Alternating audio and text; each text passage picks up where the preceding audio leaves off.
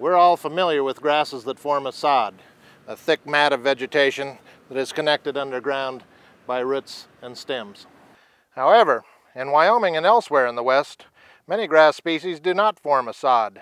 Instead, they grow in clumps, sometimes with lots of bare spaces between plants. So what's up with that? Isn't this bare ground a waste of productive space, a place where weeds and erosion can occur? Actually, bunch grasses make sense in places that don't get a lot of rain. Bunch grasses have extensive root systems that spread out into those seemingly bare spaces between plants. They very efficiently absorb any rain or snow that falls there and concentrate it into the vertical growth of the clump.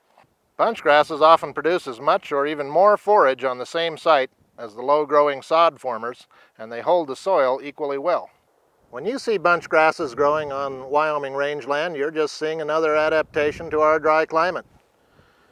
Bunch grasses are often a sign of health and productivity. I'm Gene Gade from the University of Wyoming Cooperative Extension Service.